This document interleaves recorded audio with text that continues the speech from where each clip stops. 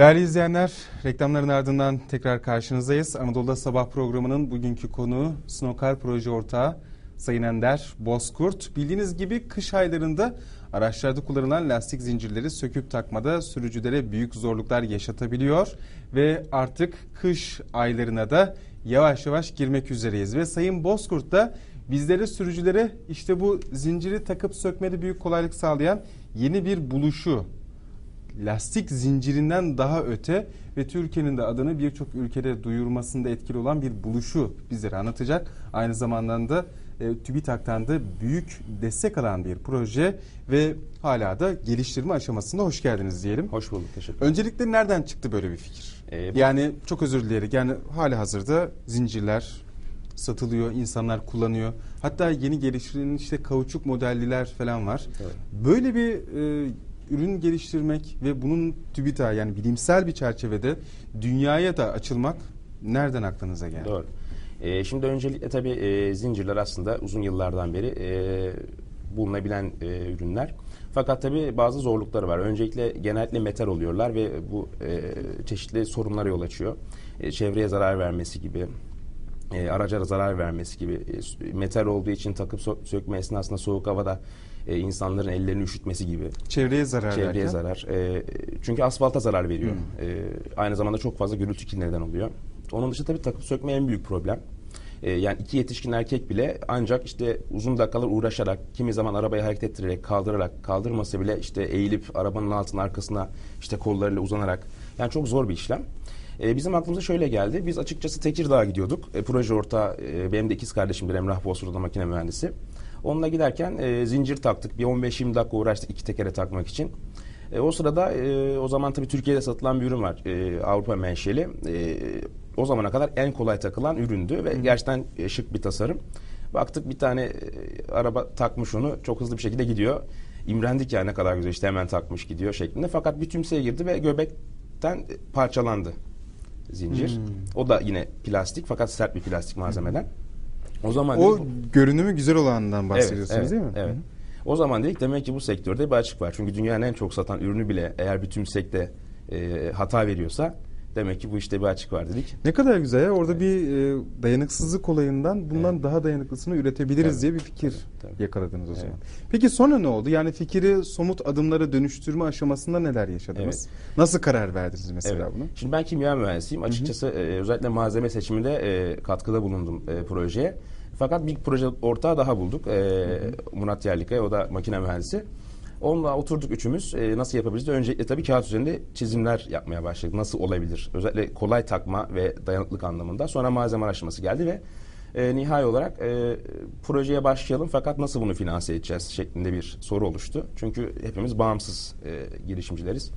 O sırada işte e, TÜBİTAK destekleri e, bizim önümüzü açtı. Sağ olsunlar hem e, teknik olarak denetleme hem mali olarak denetleme, bizi doğru yolda tutma, çeşitli e, maliyet unsurlarını indirgeme şeklinde Yani tamamen oldu. TÜBİTAK destekli bir Tabii, proje diyebiliyoruz buna. Kesinlikle. TÜBİTAK Peki- araştırma gelişme desteklerinden faydalandık. Peki sonrasında TÜBİTAK da bu işe dahil oldu ve Ee, biz tabii o zaman e, ofisimizde bunun geliştirmesine başladık. Önce tabii teknik çizimleri yapılıyor bunun. Ee, o sırada bir yandan da paralelinde malzeme seçimleri yapılıyor. Burada çok önemli malzeme seçimi çünkü e, örneğin e, normal otomobil lastikleri SBR denilen bir e, malzeme kullanır bu e, asfaltla temas eden yüzeyinde. Ki tabii aşınır belli bir zaman sonra hepimiz araç kullanıyoruz.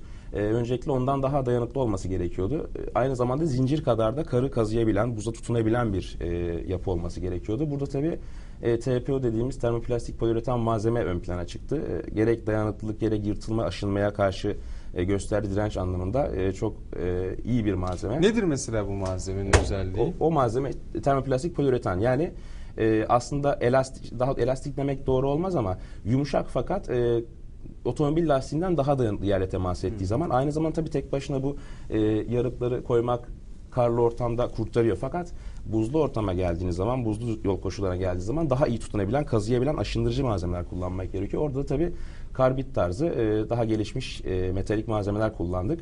Onların tabii alternatifleri de var farklı ülkelere göre. Çünkü her ülkede metal kullanmak yasak. Şey izin verilmiyor daha doğrusu. E, onların alternatiflerini bulduktan sonra öncelikle e, tabii bu mekanizma üzerinde çalıştık. Esas patentlenen mekanizmalar da bunlar zaten.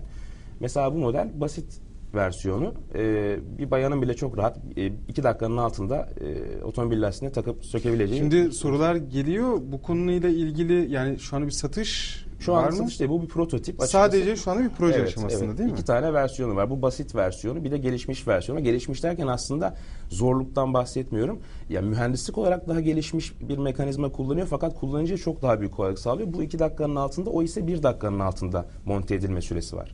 Şu anda tabii prototip aşamasında bu. Ee, yatırımcı arıyoruz. Bunun için belli tesislere ihtiyaç var. Gerçi üretim de çok kolay. Ee, çünkü basit bir enjeksiyon, plastik enjeksiyon ünitesiyle çok rahat bir şekilde üretilebiliyor. E, montaj hattı da gelişmiş bir montaj hattına gerek yok. Çünkü bunların hepsi aslında e, işte mühendislik için tasarım diyelim genel çerçevede. Öyle unsurlar vardır mühendislikte. Her şey düşünülür. Tasarım e, işte efendim montaj için e, tasarım, üretim için tasarım, çevre için tasarım gibi bir sürü unsurlar düşünülerek aslında çok e, verimli bir ürün oldu. Şunu merak ediyorum yani şu, şu ürün şu anda patentlendi değil mi? Tabii. Patenti alındı ve e, özellikle buluşlar konusunda da ilk üçe girdi. Doğru. Bildiğim kadarıyla. Şimdi bu ürünün ilk üçe alınması ile ilgili hangi özelliği ön plana çıkarıldı? Bu birinci sorum olacak. İkincisi bu ürünün o bahsi geçen özelliğinin dışarıdaki çeşitli fuarlar ya da çeşitli ülkeler tarafından da yine dikkat çektiğini söyleyebilir miyiz? Çünkü önümde birkaç belge görüyorum. Bunlarla ilgili bilgi verebilir misiniz? Tabii. Şimdi e, öncelikle şöyle söyleyeyim. E, iki farklı model. E, basit ve e, gelişmiş versiyon. Bunlardan toplam üç tane farklı patent çıktı. Bu patentler de e, 20 küsür ülkede e, tek tek patentlendi. Yani her bu 20 küsür ülkenin her birinde üçer tane patenti söz konusu bu ürünün. E, bu Türkiye'deki başarısı şöyle oldu. Türk Patent Enstitüsü belli zamanlarda e, kendisine patent başvurusu yapan, patentlenmiş veya patentlenme aşamasına gelmiş çok sayıda e, buluş diyeyim, buluş arasından e, ekonomik fayda, işte insan hayatını kolaylaştırmak gibi özelliklere bakarak e, çeşitli sınıflandırmalar ve e, sıralamalar yapıyor. Biz son 3 senede yaklaşık 50 bin patent arasında e, ilk üçe e, alındık Türk, Türk Patent Enstitüsü tarafından ve özel sektörde tek patent bizim patentimiz o ilk üçte. E, bunun üzerine tabii e, Türk Patent Enstitüsü de onlar da sağ olsunlar çok e, büyük desteklerini gördük. E, onların sponsorluğunda Almanya'da her sene düzenlenen Nü- Nürnberg'de İANA Buluş ve Yenilik Fuarı'na katıldık onların sponsorluğunda. E, o fuarda e, tabii ürününüzü sergiliyorsunuz. İlk başta kurumsal ziyaretçiler geliyor. Bu işle e, ilgilenen e, firmalardan temsilciler geliyor. Daha sonra e, bireylere açılıyor normal halka ve çok büyük ilgi gördü. Yani standımız gerçekten önü çok kalabalıktı. Ve onun neticesinde de tabii çeşitli jüri- jüriler geziyor fuar boyunca. Sizi inceliyorlar, sorular soruyorlar. e, hatta sıkıştırıyorlar bazen. E, onun neticesinde tabii bir gümüş madalya hak ettik. Yani ikinci olduk. E, tabii bu da büyük bir başarı. Türkiye için de bizim için de. Diğer ülke ve fuarlardan edindiğiniz yaklaşım ve ilgilerden söz edebilir misiniz? Mesela şu iki belgeyi merak ediyorum. Evet. Nedir bunlar? E, bu e, fuarda e, aldığımız madalyanın sertifikası. Yani ikinci olduğumuzu söylüyor bu e, belge. E, böyle bir madalya verdiler. Aynı zamanda e, bazı ülkelere de e, bir jest niteliğinde siz de kendiniz için e, fuardaki en iyi buluşu seçin dediler. E, bu senekinde Makedonya'ya bu e, şansı vermişler. Makedonya'da bizi fuarın en iyi buluşu seçti. Böyle bir sertifika verdi. Hı hı. O da O da. Makedonya'dan aldığınız Evet, sertifika. Makedonya Patent Enstitüsü'nün en iyi buluş sertifikası. Orada ön plana çıkarılan konu neydi? Unsur neydi? Ee, tamamen aslında unsur burada kolay takılması. Çünkü gelen ziyaretçiler de öyle. Özellikle bayanlara biz bunu söyledik. Buyurun deneyin, takın diye. Ve Başarılı gerçekten oldular mı? tabii tabii ya çok hoşlarına gitti. Kaç dakikalarını aldı mesela bayanların? İki dakikanın altında aslında yani. Ve tek başlarına bunu tabii. yapabildiler, Tabii tabii tabii hiç, hiç kimseye ihtiyaç duymadan. Bununla ilgili mesela bize biraz e, direkt olarak, somut olarak örnek gösterebilir misiniz? Evet. Mesela karşımızda bir lastik var ve geliştirmiş olduğunuz bu buluşu görüyoruz. Evet. Sadece dikkatimizi çeken bir mekanizma ve sıkıştırılan lastiği Evet, görüyoruz. Bunun çalışma prensibi nasıl? Tabii. Yani takma konusu. Şimdi öncelikle bu aslında dört tane yaklaşık 47 saniye sürdü. Tabii çok rahat yapıldı bu, bu videoda. bahsettiğiniz Top boyutu, o evet. ağır topta o değil Evet, mi? evet. Yani tabii hızlı yapayım derseniz bir buçuk dakikada çok rahat yaparsınız. Hani bu video olduğu için çok tabii yavaş yapıldı yani. Biraz rahat daha görürsün yani. öğretim aşamasında da. Peki e, şu aklıma geliyor. Mesela normalde sürücülerin zorlandığı bir başka nokta. Zincir alırken işte araçların mesela çaplarıyla ilgili bilgiler vardır. 175, 60'lar, 14'ler, 15'ler ve her bir lastiğe göre, lastik sınıfına göre çok çeşitli numaralar verilir. Bunda da yine aynı şey söz konusu mu? Çünkü orada videoda sıktıklarını gördük oradaki e, kullanıcının Evet. ve şurada bir boşluk yer alıyor. Kaç Evet. tip var lastikler için toplamda? Şimdi biz bunu açıkçası üretim için tasarım diyelim. Ee, bu şöyle. Ee, şimdi tabii normal metal zincirlerde e, üretimden ve tasarımdan kaynaklanan böyle sıkıntılar var. Mesela bir zincir aldığı zaman bu e, ortalamada 10 tane lastik ebadını ancak kapsayabilir. Ee, bu tabii üretici ve satıcı için de çok büyük bir problem. Çünkü üretici çok sayıda model üretecek ki ancak piyasadaki bütün lastikleri kapsayabilsin. Satıcı için de çok fazla stok maliyeti demek. Ee, bu Snow Carbon e, versiyonlarıyla e, toplam 4 farklı ölçüde Snow Carbon modeliyle toplamda 402 tane lastiği kapsayabiliyoruz. Aslında piyasadaki binek otomobillerin tamamı demek bu. E, dolayısıyla üretici için çok büyük bir avantaj. 4 tane farklı model üretecek e, ve Yani her bir modeli 100 tane aşağı yukarı Aşağı yukarı. Tabii O biraz değişiyor. Kiminde 70, kiminde 120 oluyor. Tabii o aynı zamanda kullanıcı için çok büyük avantaj. Mesela hanesinde birden fazla araba olan bir insan tek bir zincirde iki arabasında hani ki hangisini kullanacaksa o gün e, onu alıp takabilecek. Anlıyorum. Peki şunu merak ediyorum. Ee, kullanım aşamasında e, şüphesiz testleri yapılmıştır. Normalde karlı ve buzlu yollarda fren mesafelerindeki etkileri ölçüldü mü? Evet, e, açıkçası şu- e, 400 kilometre aralıksız test edildi. E, İstanbul Ankara arasında ve bu yolun %75'i karlı, e, geri kalanı da ıslak ve e, çamurlu diyelim. O tarz bir e, yol koşulu söz konusuydu ve e, herhangi fren mesafesinde veya kullanışta herhangi bir kayma veyahut da işte ciddi bir titreşim, ses hiçbir şeyle karşılaşılmadı. Yokuş yukarı da gayet performansı e, üst düzey. E, yani pratikte hiçbir sorunla karşılaşma. Zaten bu e, ürün e, tasarlanırken aynı zamanda sonlu elemanlar analizi denen bir yöntem vardır. Onunla bütün yırtılabilecek bölgeler, hasar görebilecek bölgeler, aşınabilecek bölgeler de tespit edilip ona göre iyileştirmeler yapıldığı için e, açıkçası mesela bu e, o gün kullanılan 400 kilometre ve gördüğünüz gibi hiç üzerinde bir aşınma dahi yok. Yani, deneme Tabii sürüşünde tabii deneme, kullanılan. evet bu prototip bu. Ve hiçbir e, aşınma veyahut da zedelenme gibi durum söz konusu değil. Şunu merak ediyorum. İlk başta çıkış kaynağımız e, orada işte Tekirdağ'a giderken demiştiniz. E, bir araçta zincirin kopmasıydı. Evet. Yine aynı şekilde kasislerde denediğinizde oradaki boşluğu doldurduğunuza inandınız mı? Tabii kesinlikle. Şimdi zaten e, elastik daha doğrusu esneyebilen bir malzeme olduğu için şimdi normalde kasislere girdiğiniz zaman tekerde belli başlı hareketler olacaktır yukarı aşağı. Onları absorbe eden sistemler var. Ön, önce mesela bu ray mekanizması. Şimdi burada hareket edebiliyor belli bir miktar. Dolayısıyla esnemeyi bir şekilde absorbe ediyor diyelim. Ee, tabii zaten hiçbir şekilde e, sert bir malzeme olmadığı için ve aynı zamanda göbeğe bağlı olmadığı için onu bir şekilde koparacak ve Burada bir boşluk mekanizma- söz konusu değil mi şu ortada? Yani jantla arasında bir boşluk. Tabii tabii. Canta Söz monte değil. Zaten en büyük özelliklerinden bir tanesi o. Kolay takılan e, kar zinciri genelde e, canta monte edilerek sorun çözülüyor. Ama bu tabii e, kullanışı e, mantıklı, çok bize mantıklı gelmedi. Çünkü dediğim gibi bir bayanın onu işte bijonu sökecek, bijona işte göbeğe monte edecek bu orta göbek mekanizmasını bunlar zor şeyler. Artı malzeme sert olduğu zaman göbek sabit olduğu zaman bir şekilde bu ara e, kolonlar kopma ihtimali var ki bizim gördüğümüz zaten o e, Tekirdağ'a giderken sorun da oydu. Yani Hmm. tümseye girip buradan darbe gelince göbekten e, açıkçası kendini bıraktı. Dolayısıyla burada herhangi bir yerle bir bağlantısı olmadığı için Tabii, tabii. boşlukta gezinme imkanı Tabii, bulabiliyor tabii, diyorsunuz. Bunun dışında mesela az önce fuarlardan bahsettiniz. Orada hani bir yatırımcı arıyoruz dediniz ya. Doğru. Herhangi bir talep ya da bir teklif geldi Tabii mi? çok fazla. E, bizim özellikle patentimizi değerlendirip e, ona o ölçüde bize e, bir şekilde yatırım yapacak e, 20'den fazla açıkçası e, yatırımcıyla temas kurma şansımız oldu ki hala görüşmelerimiz devam ediyor. E, tabii fuarda maalesef Türk yatırımcı yoktu ya bir şekilde herhalde haberleri olmadı ama Avrupa'dan çok ciddi talep var.